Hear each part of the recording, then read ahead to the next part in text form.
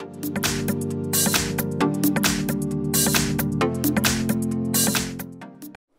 Hi everyone, here we've got Asus Zenfone 8 Flip and let me share with you how to allow, how to enable the demo mode on this device. So firstly, let's enter the settings and here we have to scroll down to the system. Now let's enter the developer options and if you cannot find the developer options, no worries, we've recorded the video um, in which we explain how to enable them, how to activate them.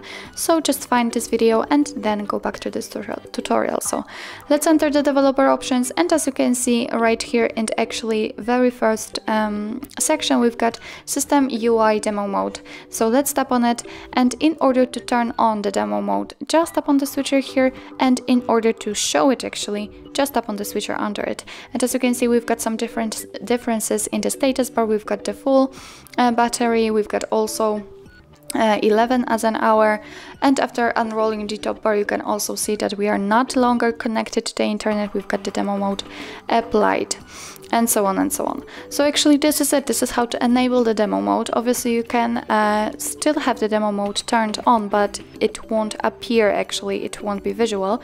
Just tap on the switcher right here and as you can see all the icons just go back. But if you'd like to uh, totally remove, totally close the demo mode, just tap on the switcher here. So actually this is it, this is how to enable the demo mode in your Asus Zenfone 8 Flip. Thank you so much for watching, I hope that this video was helpful and if it was, please hit the subscribe button and leave the thumbs up.